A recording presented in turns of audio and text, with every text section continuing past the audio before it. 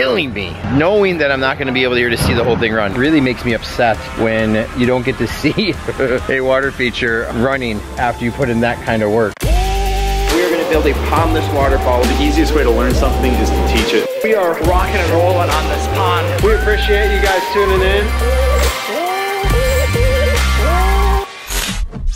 All right, everybody, the beginning of day four. Three days of work done, two more to go. We have today and tomorrow to get all the way up past the bridge. Finished up this waterfall yesterday. It's gonna be so awesome. And I think what I'm so, so excited about is we've got probably, that's a 5,000 pound rock. That's like a 3,000 pound rock. Then you have a couple like 2,000, 1,000 pound rocks back up in there. We have five, eight, 10, I don't know, 12,000 pounds of stone to create about a 15 to 13 inch high waterfall right in here and it all is really just trying to get it to look like one big rock. And so that water is going to come ripping through that opening up in there move through all of this hopefully drop here definitely dropping through here all right next to these stepstones. It took me a while yesterday. It was awesome that Alan and Jaak were here so I spent some time on here put a couple hours into foaming all this getting all those bib liners and stuff done and then they went up there and started digging some more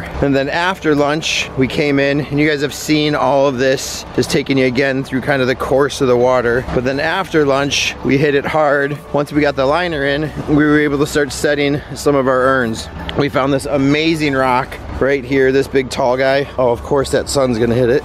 Let's see, there we go. We found this amazing rock that almost looked like it's a glove holding the big giant large urn. We also have this really cool piece of driftwood that's almost got its arm around the backside over there holding the medium. And then I have to finish this small one. Each one of these we've drilled out with a hole saw to accept a two inch pipe, put in lights up in here. This will bubble up. The lights will hit that agitating water up on here and then also hit the canopy of those trees up in top there. So I've got this one done. I got this one done. I still have to do that one. Once we get that done, we'll come in here and I think Alan and Jaak are gonna start working on setting these and then we should be, Alan, I think we'll be past that bridge today. Oh, easily.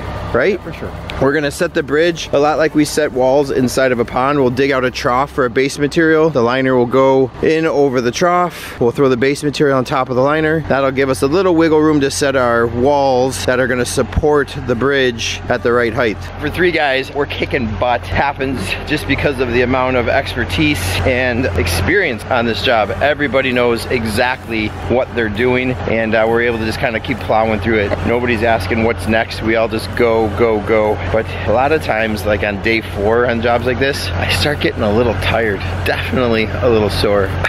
Two more days for me and then Jaak's got another week out here with the rest of his team coming out here to finish all the edges and everything else. And it's killing me knowing that I'm not gonna be able here to see the whole thing run, but it's still so much fun to get it to that point. All right, guys, hold on tight. We're gonna see how much we can get done today, and I'll check in with you right around lunchtime. Bye.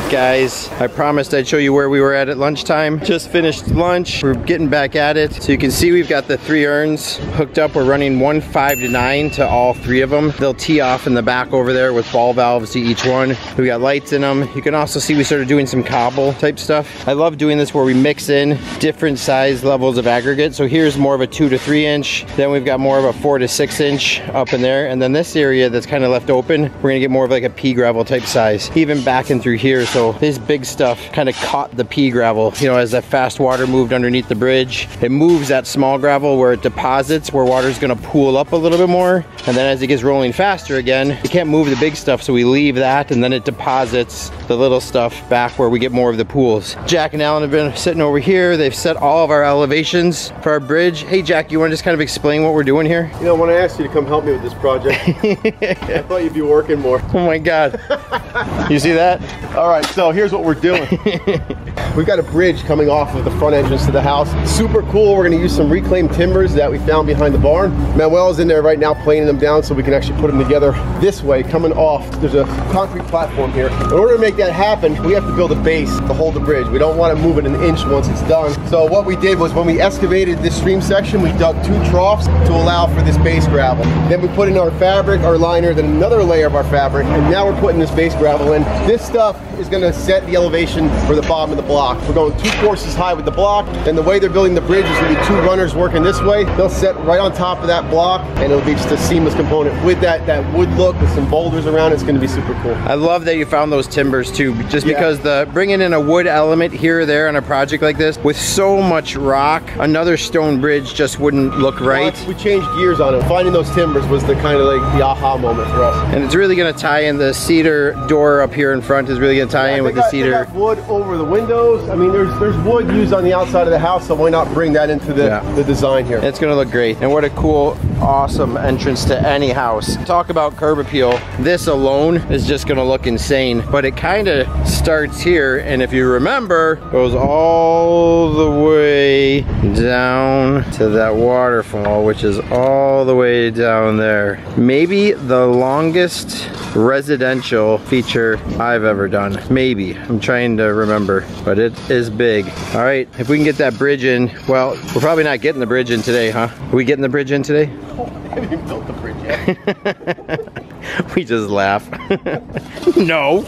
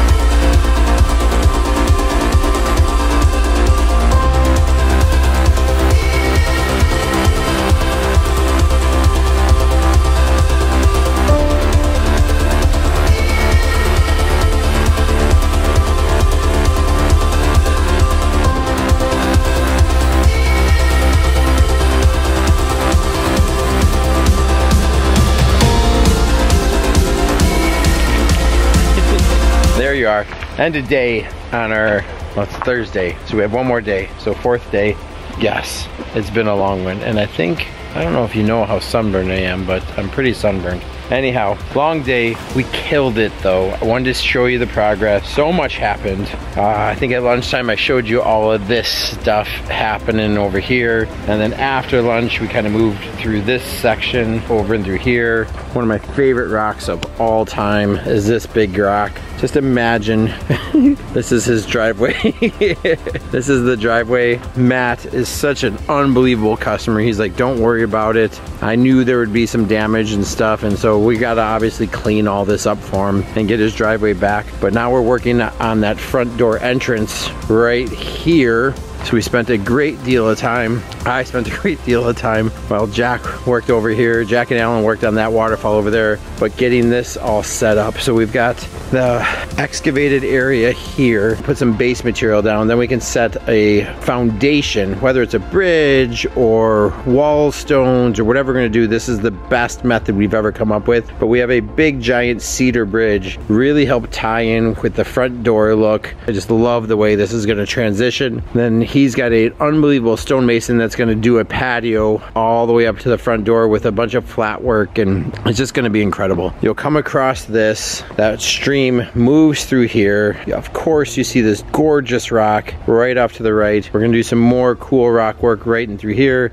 and then that stream just twists and turns and twists and turns. As you move through, you're gonna see the urns bubbling at night. It'll be insane because once these things all leaf out, that'll all be lit up with those wavy marks all over the canopy of the trees. And then that stream just moves and zigzags all the way down to the pond. Gonna be insane. This waterfall that Jaak and Alan have been working on, again, looks like just one big solid rock. This weathered sandstone has all this cragginess to it. And so this is gonna come down through here, drop kind of into this area, move through this tight little channel. We'll of course get some lights in there. And then we're hoping right where that shovel spade is, we can bleed off a little bit of water and let some of that water move through this area. It'll make more sense when that's gone. But hopefully that all turns out. And then our spheres obviously go back up in here, which is the headwaters to this whole thing. Again, as it moves underneath the cool cedar bridge and off it goes. So I think we killed it today. We did so good. A lot, a lot of physical labor,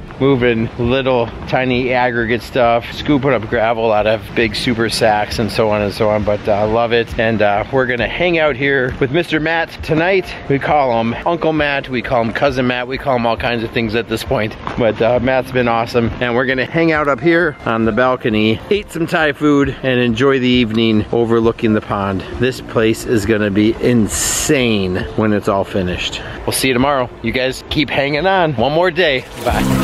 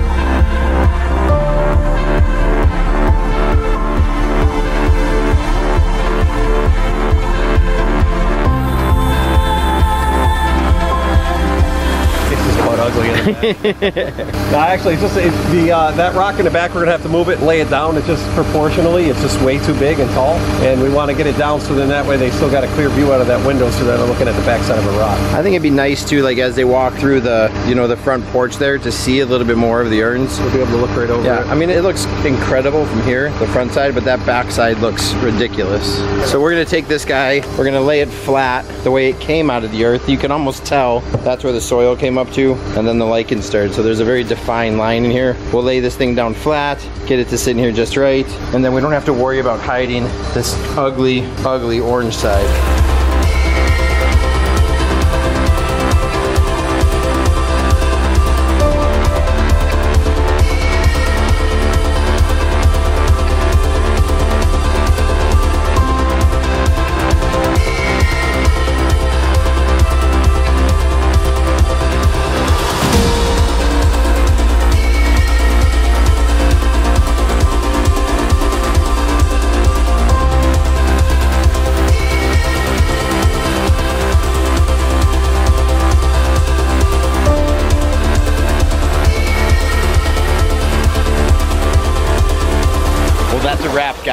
Day five out here. I'm thinking it's about 200 some feet of stream. I think we set well over 100 tons of stone. Way more than Way more than. I'm looking over there because there he is. Hey.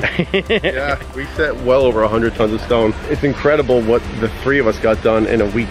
Four giant seams, 200 feet of liner, 30 foot wides, 20 foot wides. You've excavated the whole thing. We ran the plumbing all the way up there. We set the urns, we set the spheres. We built unbelievable waterfalls. Space for a bridge. Base for a bridge. We did a lot. I dug the plumbing today, so next week we're gonna finish this. And I really am sad that you won't be here, neither will Alan. Alan, get in here really quick. The hardest thing, and it doesn't happen often, in fact, it really makes me upset when you don't get to see a water feature running after you put in that kind of work. We killed ourselves this week. Yeah, it was a lot, was a lot of work, but it's still fun, you know? Yeah. Building ponds with friends is rewarding, and even the tornado day Yeah. was still Productive. memorable, I guess. cool. Memorable in a way.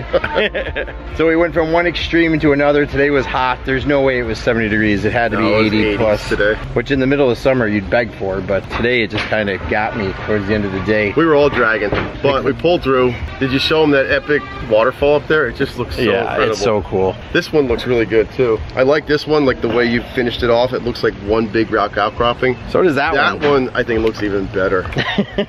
no, I'm like really, go like, go look at it. It's amazing. Jeez, I wonder why he's saying You that. You guys, you guys tell me, but but the only way you're gonna ever see this thing running is check out my good friend Jaak Harju over at Atlantis Water Gardens, where you can see the reveal of this incredible project. Make sure you go over there because it is worth the extra push with your finger to try, to check it out. Hey guys, hope you like this.